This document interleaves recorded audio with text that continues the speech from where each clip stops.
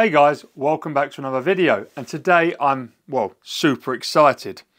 It's quite commonly documented that I started this YouTube channel, The Swimsuit Guy, to get and test more tech suits that I couldn't afford to just buy willy-nilly. I couldn't buy every race suit in the world to test them, so I thought if I started a channel I might get some review samples and you know be able to not only benefit the wider audience and give them insights onto what suits they should buy but also as someone who was at the time still an active competitive swimmer try more suits and see what was best for me.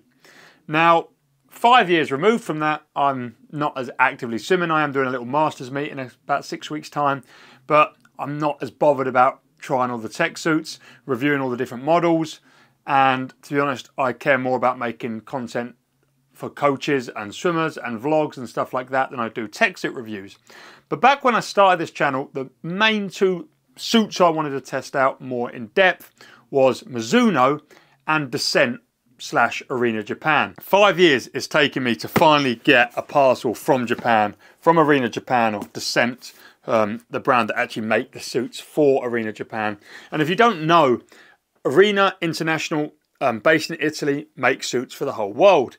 But Arena Japan is basically a sports company called Descente, rebranded for Arena because Arena, like Speedo, are a big presence in the international world. So the suits in this box you can't just buy from Arena Europe, Arena International, Arena America. You have to actually import them from Japan. And I'm super excited to finally be able to try them because, well, I think Japanese suits generally are the best. You know, I'm a massive fan of Mizuno, Japanese suits. The ASICS suits were a little bit more disappointing, but I've heard brilliant things about the Arena Japan models, and I have their two current flagships in this box. Well, at least I think I do. That's what I've been told. And I do know they've got more suits coming out soon. But in this box are the suits that are worn by, well, Yvonne Jorge, all the uh, all the Arena Japan athletes, uh, such as Mizunuma, uh, my good friend Adan Jahan Chillingworth. Oh, here we go. There we can, oh, we can see it. Ultimate Aquaforce X. Awake your potential. Let's get a bit more into the box. Oh,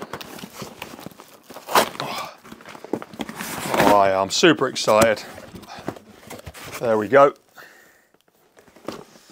So uh, I've got four pairs in here. There's two models, just like uh, Mizuno have multiple models for different things.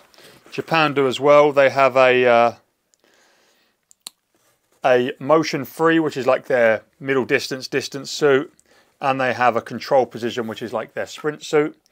Pretty sure that's the uh, control position, and that's the motion free.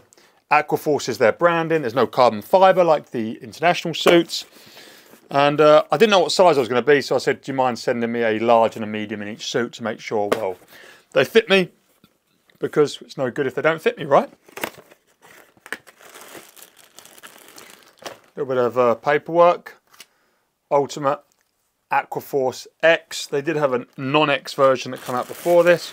Oh, they come in a little plastic bag, but I've somehow removed that upon opening. Oh, they look slick. So this is one of the newer colorways. It's got a black front and a blue back, which I really like. Kind of gives the slight vibes of the old uh, Carbon Air. The waistband's really different. Like it's uh, still that silicone waistband, but it's not like any of the other models I've tried in my life. Um, there's a lot of taping inside here. There is a stitch seam. Japanese suits, because the Mizunos are the same. Japanese suits have like a stitch seam down the uh, the back for some reason, not a bonded one there. Mizuno's are the same. It's not a problem in Mizuno's. I doubt it's a problem in this suit. I'm going to upload this pretty raw, to be honest. I think I'm not going to edit this too much, but uh, there we go. They have like a Y taping on the back. You know I preferred the old parallel taping of the older Mizuno suits than I did the X taping on the newer Mizunos. So I'm curious as to see how this Y taping works. Uh, it's definitely going to give some sort of upkick support, and it's this is like some of the most heavy duty taping I've ever felt. Like, I can't even stretch this. Wow, it's rigid. This is a medium. I feel like I can fit in this medium size. The only sort of reference I had other than the sizing charts they, they give out is uh,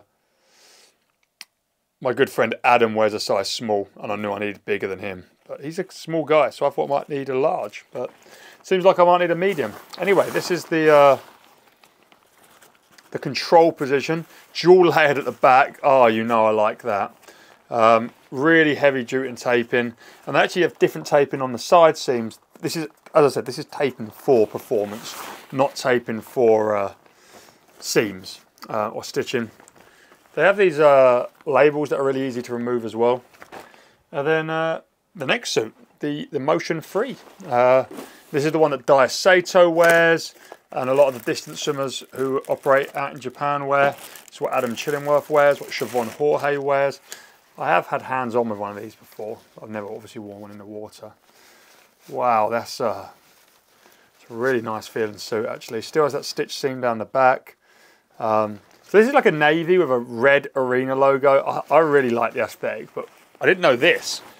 Inside the uh, modesty lining is red. That's pretty uh, pretty bold. So everywhere there's modesty lining, it's dual layered.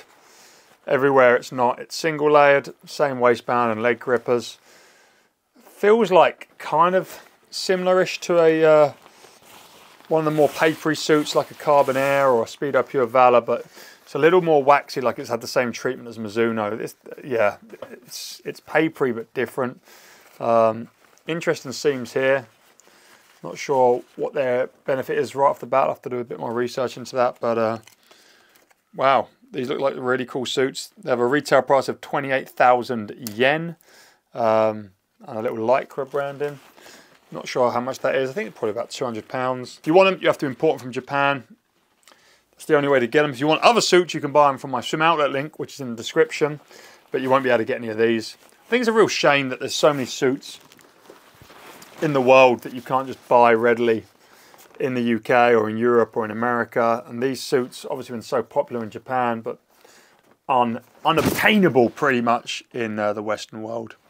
So yeah, obviously I'm going to test these out, give a full review, but I just wanted to make a video right off the bat of me unboxing them. I'm super excited and hopefully they uh, they justify the excitement. We don't know that yet. I'll have to uh, race in them a little bit and, as I said, make you a full review. If you enjoyed this video, hit the thumbs up button. If you want to see the full review, subscribe to the channel. Loads more other content coming as well. Got uh, some other suits, Mad Wave Blue 70 to review in the future. And uh, as always, I'll see you on the next one.